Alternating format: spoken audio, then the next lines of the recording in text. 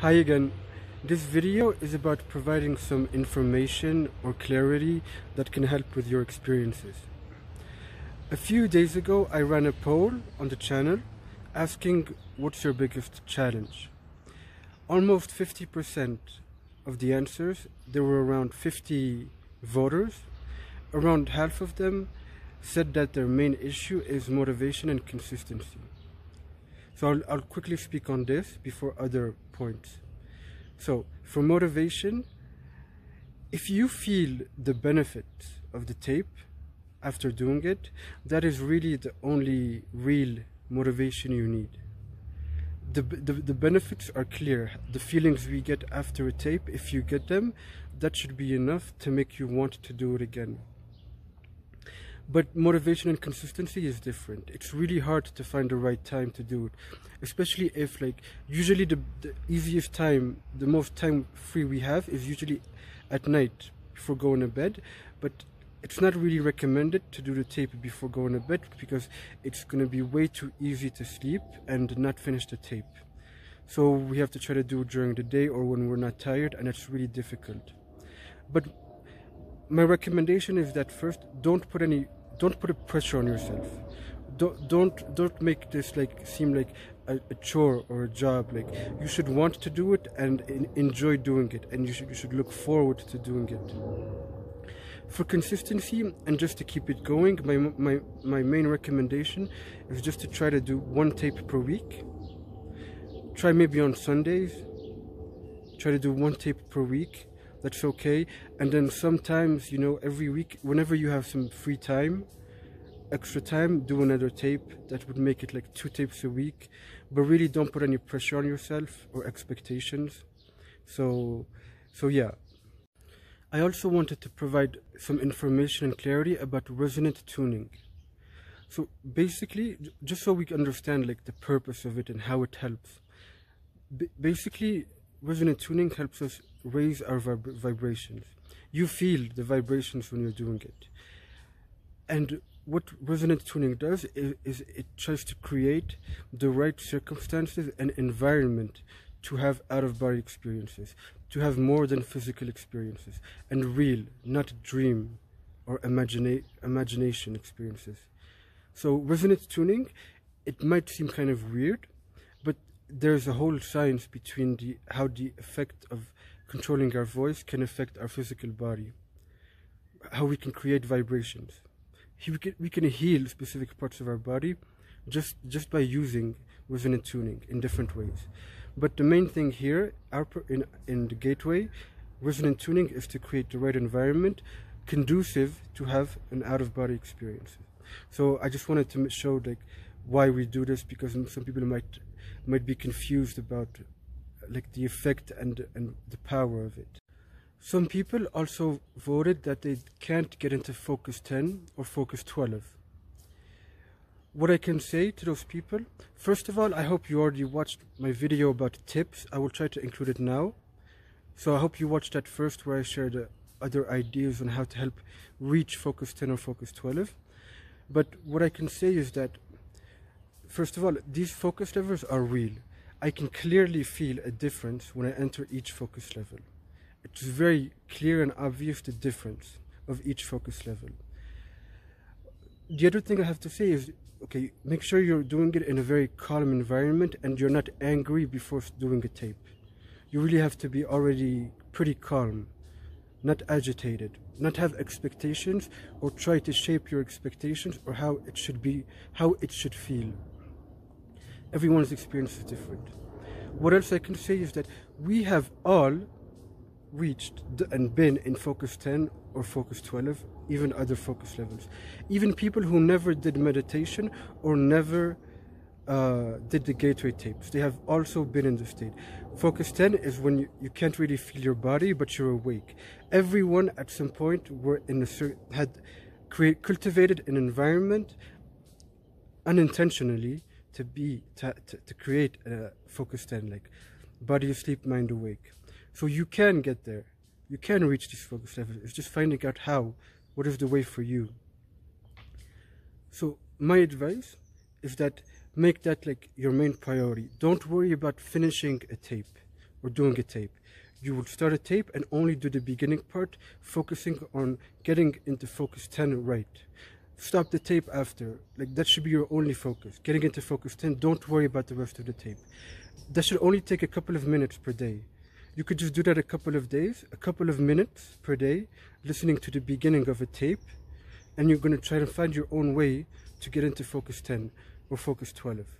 Focus on that. Don't put it don't be too hard on yourself. And it's important not to shape or have expectations of your experiences.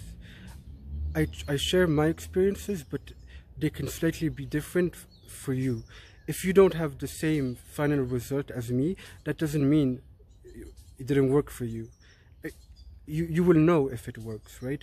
But do not shape your experiences, try to force it, or expect it to be a certain way. Just, just go, go with the flow. Really, really just go with the flow. And that's another important thing that I see a lot in comments and online in forums about the gateway tapes.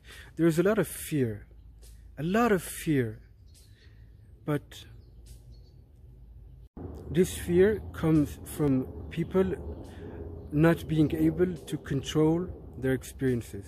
So they are worried about what can happen in other states.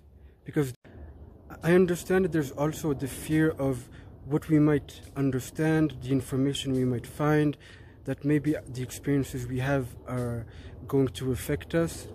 But really, I, I believe this is not the time for fear. We should not fear improving, understanding better, and getting new information, new experiences. We don't we don't have to try to control them, and we don't have to fear them, fear of the unknown. So, I just it's really hard to explain why maybe I don't have fear, but I just really feel like this is not the time for fear. It's more excitement and I, I am totally aware that maybe it's possible that I can have a bad experience, and I have. If you did watch, uh, what tape did it happen? It was, it was because of manifestation that something bad happened to me. I am someone who believes in blessings in disguise or things happening for a reason. So, if maybe why I don't have fear is if because something kind like bad happens to me, I don't take it as a bad thing, um, because okay, I understand that something bad happened to me, but the, the result of that was incredible. I had so much time off that I was able to find solutions to my manifestation uh, uh, want, what I wanted from my manifestations. After what happened to me, I had more time to work on them. I, I can give you another example. When, like this was like maybe like 10 years ago, I broke my right hand. So I had to wear a cast, but I'm right-handed. I, I, I swear, I, I wasn't really angry because I saw this as an opportunity to learn how to, to write, brush my teeth, and do stuff with my other hand. So what might seem like a bad thing, depending on perspective, can actually be a good thing. I didn't I saw this as an opportunity to learn to appreciate what I had before, my right hand, and and I just learned so much more, especially patience. You know, when when you're like half handicapped, you learn a lot of things. So maybe that's why I am not I'm not really fearful of doing the tapes because of my perspective and and my interpretation of things.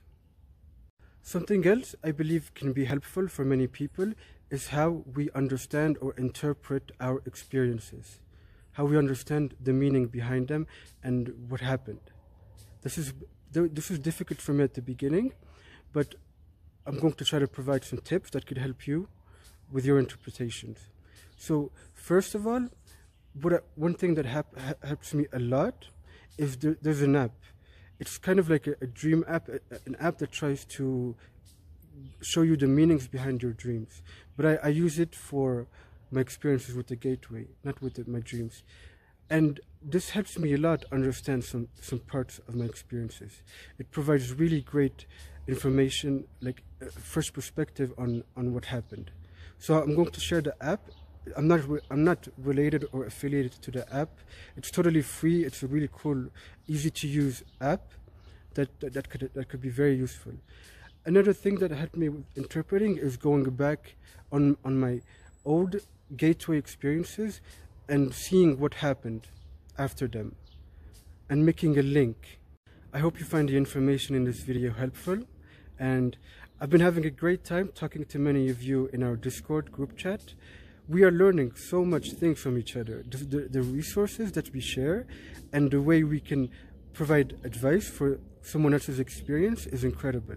Like, I'm learning a lot. Even this thing about resonant tuning that I mentioned to you, it's, it's thanks to one of the members that provided a video and the text that, that really um, made it clear to me the purpose and importance of resonant tuning. So it's been awesome. I'm, I'm, i really like reading about all of your experiences. I'm excited about what's coming, and I really have to say, guys, the gateway tapes are only the beginning. With, with our community, we found several ways that we can use to reach Focus 49.